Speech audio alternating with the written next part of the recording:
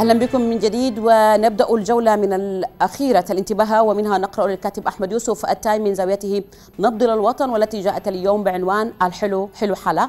ضاقته كل الأحزاب.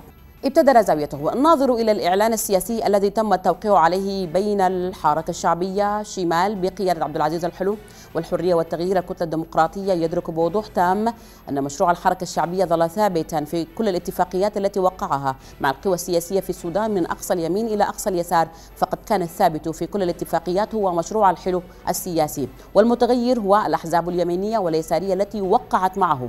والسؤال المهم هنا.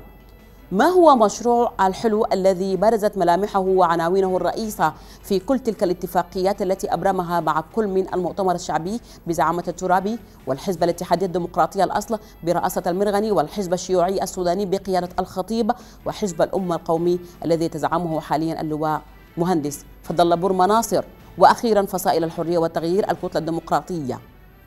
يمضي الكاتب. يقوم مشروع الحلو على ركائز فصل الدين عن الدولة وتبني النهج العلماني وتفكيك ما يسميه هيمنة الثقافة العربية والإسلامية على هوية الدولة وهو أيضا أساس التفاوض الذي بدأه مع حكومة حمدوق قبل انقلاب البرهان عليها. معظم القوى السياسية التي وقعت على الإعلانات السياسية مع الحلو وقعت عليها في إطار تكتيكي ومناورات. طبقا لذلك استخدمتها كورقة ورقة ضغط وفي مراحل شهدت حالات من الاستقطاب السياسي بين تلك الأحزاب والحكومات التي عرضها الحلو مما أضفى عليها شبهات المناورة السياسية والتحالفات المرحلية التكتيكية.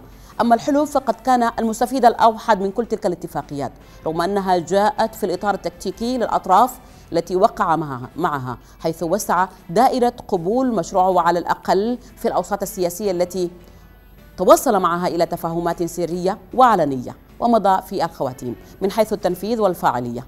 تظل اتفاقيات الحلول مع القوى السياسية مجرد تحالفات مرحلية وقروض ضغط لتحقيق أجندة مؤقتة للأحزاب الموقعة عليها بسبب الظروف السياسية المحيطة بتلك التفاهمات الثنائية. ورغم ذلك فقد حققت ذات التفاهمات للحلو حالة من الترويج السياسي والدعاية لمشروعه العلماني. ولن تتعدى ذلك بحسبان أن المشروع العلماني لن يجد القبول في بلد يشكل الإسلام فيه نسبة 98 بين السكان.